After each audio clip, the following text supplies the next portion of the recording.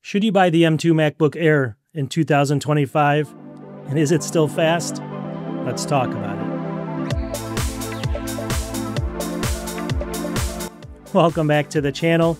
So I get asked this question from time to time. A lot of people ask me, is the M2 MacBook Air still a viable option in 2025?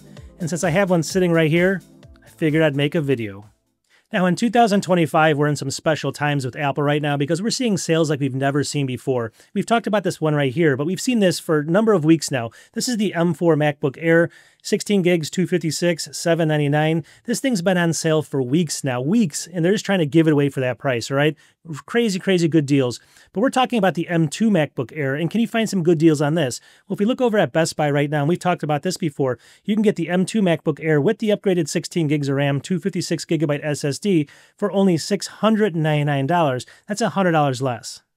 Now, before I get into the video, at those current costs right there, without doubt, 100% of the time you should be buying the M4 MacBook Air over the M2 MacBook Air. If it's only a $100 price point difference there, you should definitely skip about 15 Starbucks coffees out there, put up the 100 bucks and get the M4. So I just wanted to clear the air there. The M4 is right in that situation where the price is that close. I mean, if you go in here to nanoreview.net, we can take a look. Here's Geekbench 6 single core. We can see the M4 scores 46% faster than the M2 MacBook Air here, the M2 chip actually. You can see the scores in here. And then on multi-core, it's also 46% faster. That's kind of crazy. They're actually the same there. You can go ahead and see the scores here. So it's quite a bit faster than the M2 there. So obviously for that 100 bucks price difference, definitely go with the M4. But what I wanted to talk about in this video is let's say you go off to an auction, let's say you're on eBay, like this one over here. Let's say this auction is going to close and you can kind of steal, obviously this is not the, the selling price, but let's say you can steal one over here. This is going to be obviously the, the uh, M2 MacBook Air here, 256 here, 16 gigs of RAM. You can steal for 485 bucks or somewhere around $500, not the 699. If you can get it for somewhere in that cost and you can buy it in 2025, should you? That's kind of what we want to answer in this video. Is it actually a good buy at a certain price and is it fast enough compared to other modern computers. We're going to compare that right now. So what we're going to do in this video is I'm going to go ahead and show you the M2 Air versus a whole bunch of different modern computers you can buy at various price points. And we're going to see if this thing's fast enough, all right? That's number one. And then after, you know, all that's said and done, I'm going to go ahead and give you my final, you know, should you really buy this? And what's the exact price point you should be looking for on an M2 MacBook Air in 2025? What is that price point that says, hey, this is a good deal? And what is the price point that says you're crazy for buying it? And I'll tell you by the end of the video. Oh yeah, and since I actually do have the M2 MacBook Air here, the 15-inch, this has got a little bit upgraded SSD. This is the 512 gigabyte SSD, but my wife actually had the M2 with the 256. I think I'm a perfect person for kind of telling you my final thoughts on this because we still use the devices right now. We also have other devices on top of that, but we actually use those devices this day for a lot of different things. So I want to go ahead and update you by the end of the video. Now we're talking about the M2 chip, but a lot of people love to compare the M1 chip to some modern Macs now. Let's do that right now. So a lot of people are talking about Walmart. Right now you can pick up the M1 MacBook Air over here, 8 gigs only, 256, and they're selling it for what, $599 brand new. And this is actually right now in Walmart. They're still selling this brand new. So how does the M1 perform to the M2? Surely the M2 has to be better than the M1, right? Let's take a look over here. Again, we're over here on nanoreview.net. Let's take a quick peek. Okay, here we are in Geekbench 6 again, and here's the single core scores. We can see that the M2 is only 9% faster than the M1, but that's still something, right? And then we have the M2 over here, which is 15% faster in multi-core, so about 15% faster. But you can see it's not that far off from the M1, but obviously we're still getting faster speeds. So if a lot of people are still saying that the M1 is viable, they're using it on everyday tasks, you know, things that they do every single day, then obviously the M2 is going to be just that much faster, up to about 15%. And uh, overall, it's a fair chip. So we're going to find out how good it is, though, compared to some other Windows systems. Now remember how Best Buy was selling the M2 MacBook Air for 699 bucks brand new? I don't think you should be buying it for that, but hold on one second. Let's just say we were looking for a computer kind of in that range there and we were on eBay or we were on Amazon. Take a look over here. So maybe we came across this one, the Microsoft Surface Laptop Go 3. This is from 2023, so it's the same age as the M2 MacBook Air. So we're kind of in the same range there. Obviously you get a little bit smaller screen, only 8 gigs and 256. 648 bucks. So it's just a, a little bit cheaper. We got a 4.5. But what does this have? This has an i-core or a Core i5 on it, and the chip's actually a very specific chip, which we'll show you here in a second. So if we were to get this laptop, you know, obviously, let's say we found this on Amazon, or we were going to compare it against an M2 MacBook Air right now, if we were going to buy them, what would be better? Let's take a look at the stats. All right, so right over here, Geekbench 6 again. Here's the actual CPU that was on that system that we were just showing you from, from Microsoft, that Surface. It was an i5 1235U. And we can see in here, here's the Apple M2 chip. So the Apple M2 is actually 24% faster in single core. And look at this, a whopping almost 60%, 59% faster in a multi-core right there. So obviously, you know, you can go with that that computer that we just showed you back over here. Let me actually go back and find it. Um, right in here for 648 bucks, but you're not even coming close to the performance of that system, the M2 MacBook Air. You're not getting the same build quality. It's still a good build quality on the Microsoft Surface Go, but that's an older product and you would never want to buy that now, unlike some of the Macs you'd want to buy. Plus, you're going to get Mac OS on the, you know, the M2. There's a lot of advantages there. The screen's going to be better. So overall, I would stay away from this one. And you can see how it compares to that computer. But let's just keep moving moving with some other ones.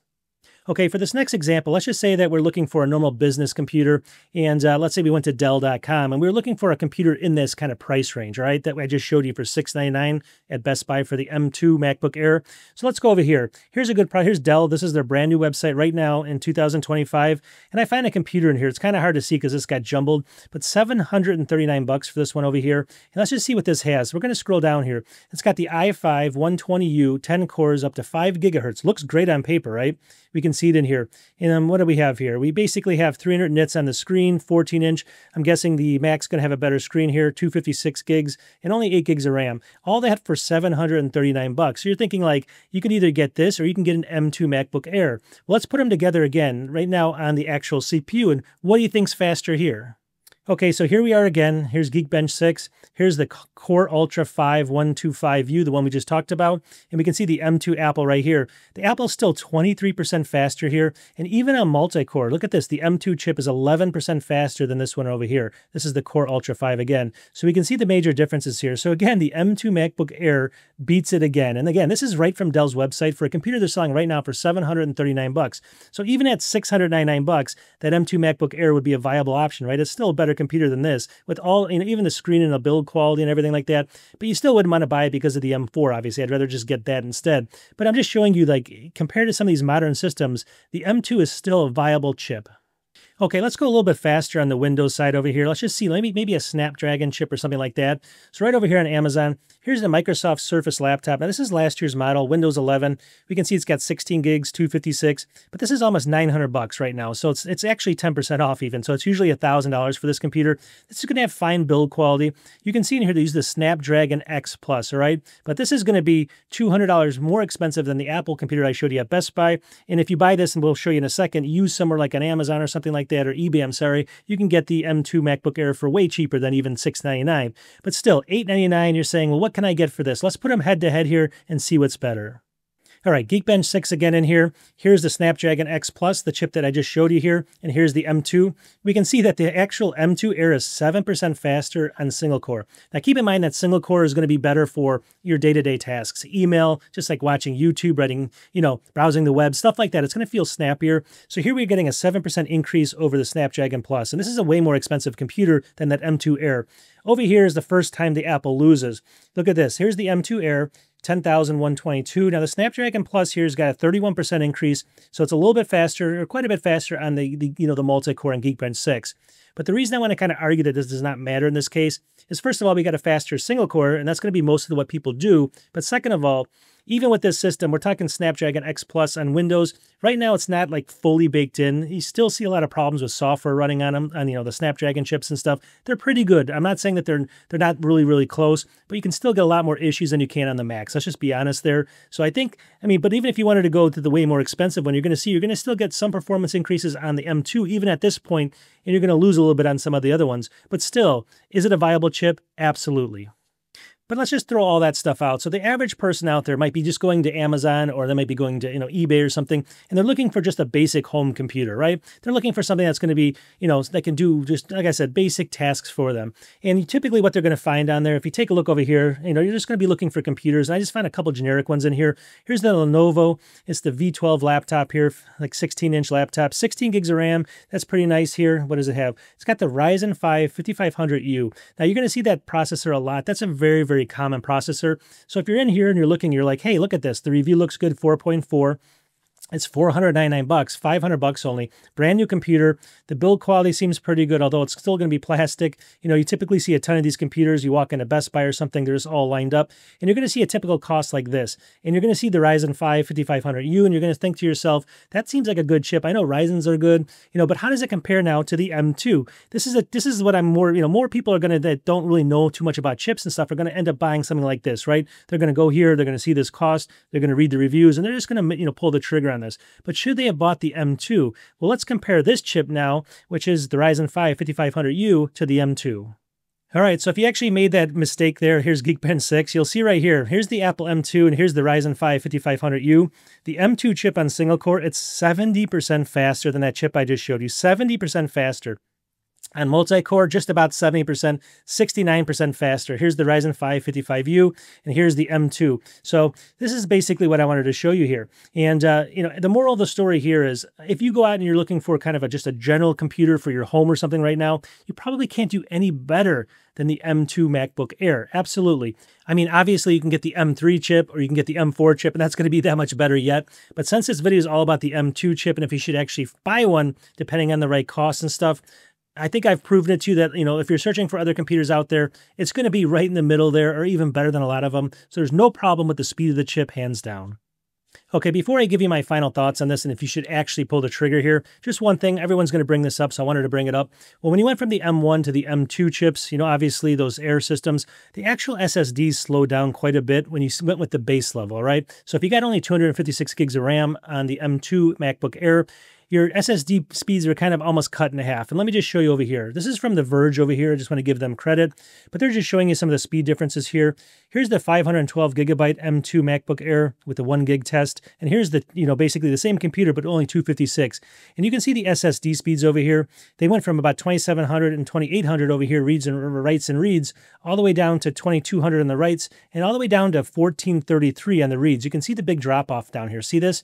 And uh, it gets slower than that when you're doing, you know, when you do stuff down here with the 5 gigabit test, it'll be around 1600 on the reads and writes. So you're going to get a slower SSD drive with the M2 than you are with the M3, even the M1, but with only 256 gigs of, of, space, and also with the M4, obviously considerably, you know, a lot slower. But even at that, let me just put this in perspective for you. So long story short, my wife actually, she had the M2 base level model. Now I have the M2 sitting right here, MacBook Air, but I have 512 gigabyte SSD. But I use both of those systems all the time, all right? I could notice zero difference between them except when I was doing very, very, very specific things, all right? So if you're downloading or you're moving a massive, massive files, you might see it's going to take a little bit longer. But if you don't have them side by side, you don't even notice it. Um, but for everything else, like just, just like I said, normal work, email, browsing, stuff like that, I mean, realistically, we would watch, and when I did the test, it would take literally one-tenth of a second difference there for, you know, it to come up on mine with a little bit faster hard drive than on hers. But overall, it was almost impossible to tell. So if you don't have them sitting side by side, you're just not going to notice it. And uh, while, you know, 1600 megabytes per second, it seems like, you know, in this day and age, that's slow. But realistically, I mean, you know, do the math on it. You can transfer what is a five gigabyte file in about three seconds. It's not slow at all. It's going to get the job done. And it's just a quality drive overall. So no complaints there. But I just wanted to kind of just talk about that. Okay, so now is the time where I should answer the question, should you be buying an M2 MacBook Air in 2025? And the answer actually is yes, and no. And let me explain. Well, really, it all comes down to price, and price is super important, right? So here's my price point. What I like to do in these videos is I'm going to tell people that are looking for computers right now, what is the price point you want to pick this up? Now, if you can pick this up new, an M2 MacBook Air with 16 gigs of RAM, and 16 is the key. You want to get 16 gigs now in 2025. But if you can pick one up, either let's say Best Buy drops their cost, or you can go on eBay like the one I showed you over there, and you can find a really good deal on there of a computer that's either pristine or very, very close to new. The price point that you want to reach for is $549. So if you can pick up an M2 MacBook Air for 500 $549 or less, I think you pull the trigger on it. Obviously, there's enough separation between that and the M4 at 799 plus tax and everything like that. So I think it's the no-brainer at 549 or less. Now, here's the kicker, though. This is going to keep changing. As the M5s come out, maybe at the end of this year or early next year, within just a few months, the price that I'm going to recommend this at is going to keep going down. I think by the end of this year, I'm going to make this price, instead of 549, it's going to be more like 475, $475. So this is a little bit lower price point. Now, the chip is completely viable. You just saw it there, but it's the OS updates that you're worried about. So you have to get something back on that, all right? You're going to get a little bit slower computer. You're going to get two years less of OS updates. That's really important in this mix here as well. And when you combine both of those things, you need to get money off. And right now, I think from the 799, I think 549 is the cost it has to be with 16 gigs RAM on the M2 Air, or just don't buy it. Otherwise, look for an M3 Air for maybe a 100 bucks more, or get the M4, save up some money for it. You're going to be a lot happier with that. And uh, in about three or four months, five months from now, the price you're going to be looking for is around 475 and that's going to be as much as you want to spend on the M2 MacBook Air. And one other note here, when we're talking about the M2 MacBook Air, you really don't want to even think about it if you're doing something that's going to be more extensive, all right? Like video editing, running um, local language models on your Mac, um, music production. Then you want to go with the M4 and get, get some RAM in there. Obviously, RAM's going to make a big difference in a lot of these type of things that you're doing sometimes even more than the CPU. So you want to beef up the RAM probably first over even the CPU. I mean, an M2 with 24 gigs, might be as fast as an M4 with only 16 with certain tasks, all right? But that but, but that said, the price isn't just different enough. And if you're doing anything for work and stuff like that where you're going to be making money back, just go with the M4 for sure or the M5 coming out. Don't even worry about the M2. So I don't want people thinking I'm telling people to get the M2. All I'm telling people here is just the price point they should get it at. 549 or lower and in about 5 5 months from now 475 or lower. And again, if you can't find it, that means you shouldn't buy it. All right. That's my, um, that's kind of my stand on it. And I'm going to stick to that. Okay. I hope everyone's having a great week. We will talk to you the next one. Peace.